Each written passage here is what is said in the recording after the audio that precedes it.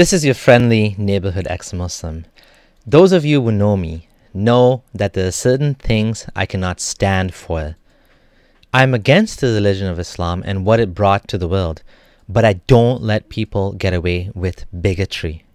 Robert Spencer of Jihad Watch, the the Muslims are coming man, is constantly looking for jihadis under every bed and in every closet. And he's here to warn us about an ad for Turkey. Yes, an ad for Turkey.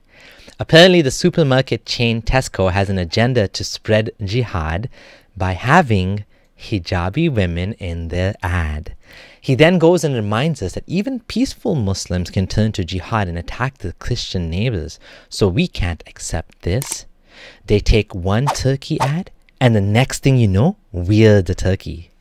His anti Muslim radar is so high that even the sight of a hijabi in an advertisement is enough to push Spencer over the edge into action.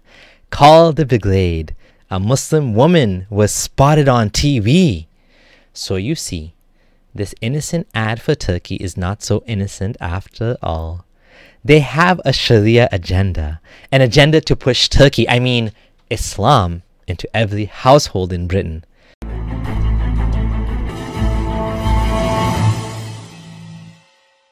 Robert Spencer here for Jihad Watch, a program of the David Horowitz Freedom Center and for the Center for Security Policy. The British supermarket chain Tesco is getting heat for a Christmas ad featuring hijabbed Muslimas. And the so-called Muslim reformer Maajid Nawaz is enraged. Not at Tesco, but at those who are complaining about their ad. Now, before we go any further, you need to see this ad. It's one minute long, and from the one minute, guess how much of it features these Muslim women? Two seconds. Two seconds of showing Muslims in the ad was enough to push Robert into taking action. What's for dinner? Have a guess. Oh. You did take the giblets out. Giblets. Has everyone got a drink? Have you been based in it, Caroline? Yes, I have. Are you sure? It looks all right to me, I think. This is what it should look like. Will you just get out of my kitchen, all of you? Snow is falling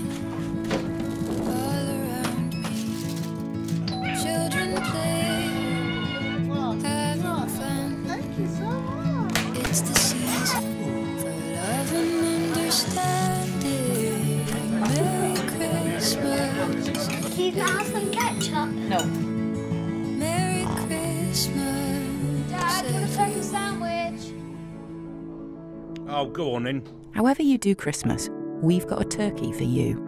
Everyone's welcome at Tesco. The British network LBC says the supermarket has responded to an outpouring of racist abuse after featuring a Muslim family in a Christmas advert. And Nawaz adds, Your real agenda here, speaking to the critics, is you just want a white, nativist, non Muslim Britain. Once again, Islam is not a race. There are Muslims of all races. Objecting to Muslims being featured in a Christmas ad is not racism. Yes, objecting to Muslims in a Christmas ad is not racism. It's bigotry, you dumbass. Oh, and by the way, there was a Sikh in the ad too. Did you have a problem with that as well? It stems from Tesco's obvious agenda in putting Muslims in the ad in the first place. Their obvious agenda putting Muslims in the ad? Dude, Muslims shop at Tesco too in Christmas. Their agenda is to sell more turkey. That's why supermarkets make turkey ads. To remind non Muslims in Britain that Muslims are there, they're there to stay, and only racist, bigoted Islamophobes would have any objection. So you just admitted that you want all Muslims out of Britain. Thank you for being honest. What do you think is a solution, Robert? The final solution. How can we get rid of all the Muslims from Britain? Surely we can't take for granted that Muslims are here to stay, right? What should we do? Deport them? Jail them? It's propaganda and manipulation disguised as an ad for Turkey. Propaganda and manipulation disguised as an ad for Turkey. It's a freaking ad for Turkey with two second shot of Muslims in it smiling. Two seconds, you sitting popsicle. Nawaz, meanwhile, blasts those who are unhappy about the ad. He says, The only conclusion I can come to is that this is driven and fueled by rising anti-Muslim sentiment that wants no Muslim presence in this country and will take any opportunity to decry and bemoan a semblance of a Muslim presence in this country. Your real agenda here is that you just want a white, nativist, non-Muslim Britain. You want to hark back to that nostalgic sense you have of a country before immigration. That's the only conclusion I can come to because you're not happy either way. If Muslims refuse to integrate, you complain. If Muslims integrate, you complain. That tells me that there's an axe to grind and you're grinding it. You didn't just prove Maajid right about wanting a white nativist Christmas. You just expose yourself even worse. You don't just want a white Christmas. You want a Muslim free Britain. I'm not going to call you a Nazi, even though I'm tempted after what you just admitted. But how can we take anything seriously from your mouth after you've shown that an ad for Turkey pushes you over the edge into watch out, the Muslims are coming? Really, Nawaz? That's the only conclusion you can come to?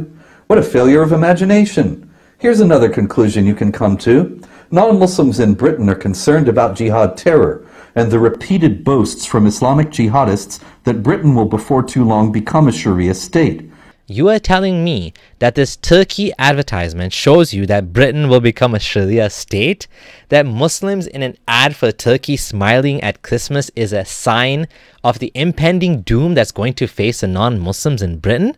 They don't see anyone in the British government or establishment media addressing those concerns adequately.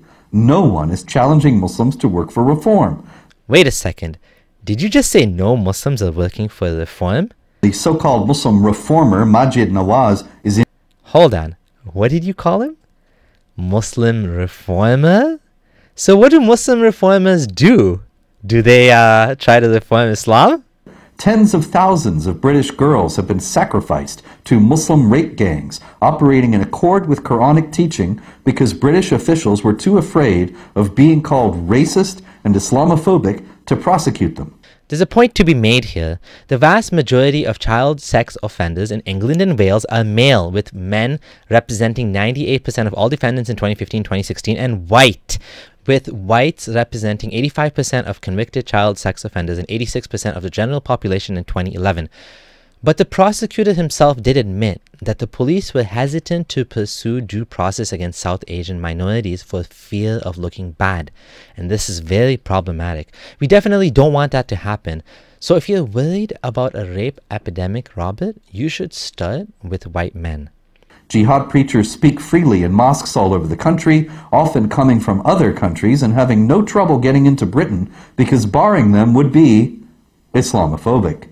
Here's a list of Muslim speakers banned from the UK. Zakir Naik, Bilal Phillips, Omar Bakri, Yusuf Qaradawi, and Muhammad Al Dini were all banned. And guess who else was banned? Robert Spencer. Yes, Robert Spencer was banned from the UK. Oh, the irony. And while all this is going on, you tell us that Tesco featuring Muslims in a Christmas ad is a sign of integration and that we're racist for opposing it. Yes, if you are against an ad with Muslims, Sikhs, Hindus, gays, blacks, atheists, white people, Chinese people, or anything else, you are acknowledging your racism and bigotry towards those groups. How can this be so hard, Robert? In reality, every Muslim in Britain could celebrate Christmas and it would not be in the slightest degree a sign of integration. Why not? Because it's not on the point.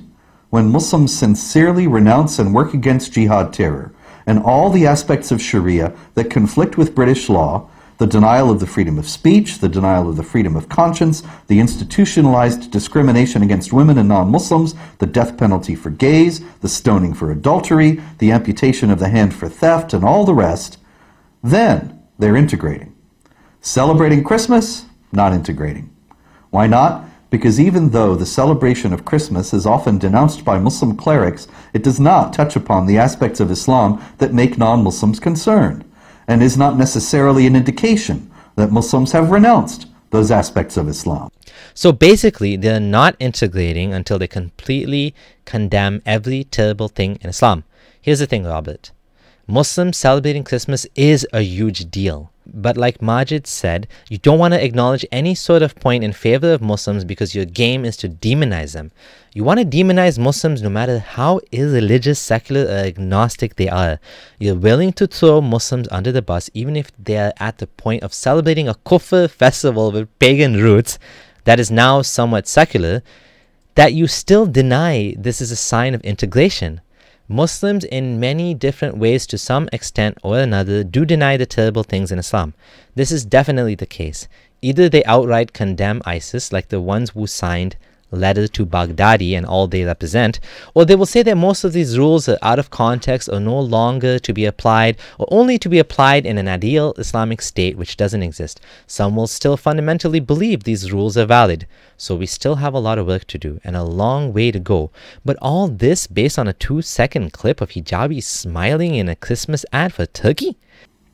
There are unfortunately numerous examples of Muslims who lived in close proximity to non Muslims and were quite friendly to them until it came time for jihad. Now, Robert Spencer is going to lay out a narrative for you. His narrative is even though that smiling hijabi woman has been a good neighbor and her kids play with your kids and she said Merry Christmas to your family and even gave you a nice bottle of wine, you better be ready because when the call for jihad will come, she's going to knock you over the head with that wine bottle and stab you with it. The June 19, 2013 edition of the New York Times carried a photo with the caption Ibtisam Ali Aboud with her son Jafar says that her husband, a Syrian Alawite, was killed by his Sunni friend. This illustrates how the call to jihad can override all existing loyalties, such that a Syrian Alawite can suddenly be murdered by his Sunni friend. There are innumerable other examples. Boston Marathon jihadi Tamerlan Tsarnaev's September 11, 2011 throat-slitting murder of his Jewish best friend is a prominent example. An anecdote from the Ottoman Empire in the late 19th century illustrates the same point. A Muslim woman recounted, Then one night my husband came home and told me that the Padishah had sent word that we were to kill all the Christians in our village and that we would have to kill our neighbors. I was very angry and told him that I did not care who gave such orders, they were wrong. These neighbors had always been kind to us, and if he dared to kill them, Allah would pay us out. I tried all I could to stop him, but he killed them. Killed them Oh my god. You seriously found two or three examples and you're trying to say that you can't trust any Muslim in Britain because of this? I think there should be something called jihadi under my bed syndrome because Spencer definitely has it. And I'm not even denying the problem of jihad. So yeah, Maajid, you can call me racist all you want, but I don't find it a wonderful reassurance that Tesco shows us Muslims celebrating Christmas. I want to see Muslims renounce jihad terror. What are you doing to facilitate that? I'm Robert Spencer.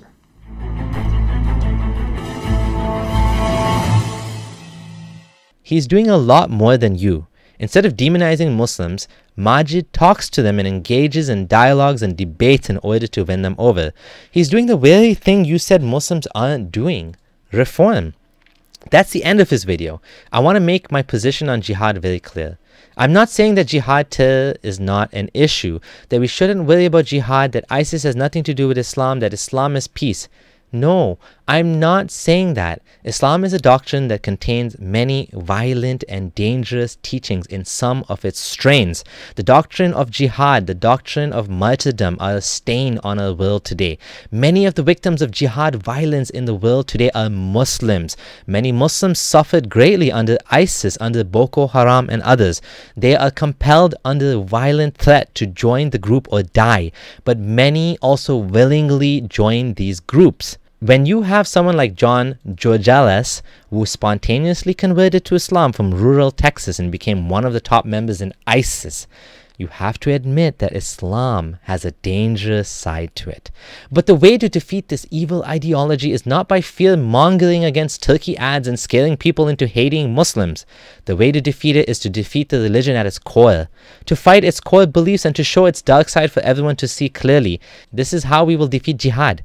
I know because I've had a jihadi contact me and tell me that Abdullah Gondal's content and my content helped him to see the light and leave a terror group. I know that the efforts I am making have de radicalized at least hundreds, if not more. Thanks for watching. Subscribe if you're new here. Give a thumbs up to the video. Leave a comment. And if you would like to see me do more, please support me on Patreon. My support page is below. If I get enough support, I can do this full time. The money does help. This is your friendly neighborhood ex Muslim, Abdullah Sameer, signing out.